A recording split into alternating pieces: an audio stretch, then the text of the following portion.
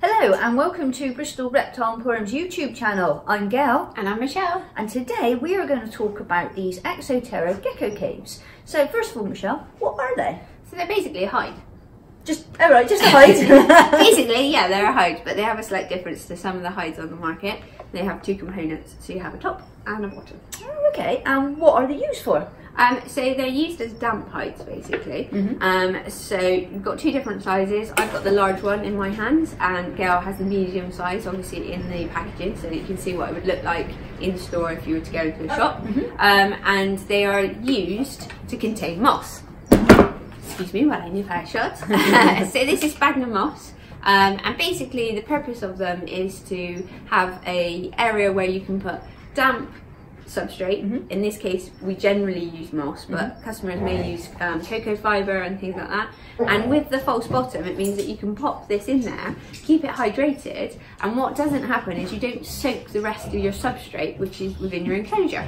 Oh, very good. And what uh, animals or what species can we use this for? So we can use this for. I know it says gecko cave on the on the uh, box, which is a little bit misleading. And you can use it for loads of different species of geckos. So things like leopard geckos, fat-tailed geckos, even things like some of the wonder geckos and things like that. Absolutely fine. But we can also use it for some of the smaller um, snake species and juvenile snakes as well. So um, in regards to the large size, you could get a juvenile royal to fit into that size hide, and the corn snakes as juveniles would fit in there nice and comfortably as well. So they're a good size for juvenile animals to provide a damp or moist hide.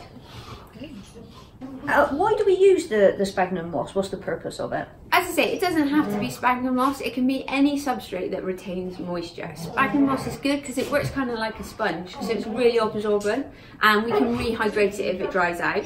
Uh, most people tend to um, throw it away if the animal passes waste into it, but otherwise they'll just keep hydrating it, and they can use it for a long period of time without too much of a problem. Okay, and why? What is it used for? What? Why does the animal go in and use it? So with a lot of animals, what they would do in the wild is they position themselves in different areas when they've got their body process, different body processes going on, and also at different times of the day as well. So um, animals naturally will use hides when they're in their rest period, um, and obviously depending on the species, that will vary when that rest period is. And sometimes those hides would be underground, and that would have a higher level of humidity than if they were sat above ground. And this sort of mimics that, so it's quite natural, and it means that if they're in shed, it helps with um, the shed process, and it means it's less you're less likely to get retained shed when the animal is going through this process if it has access to a damp hide.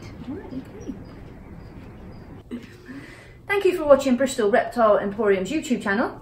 Don't forget to subscribe, and we look forward to seeing you next week for another video. Bye! Bye!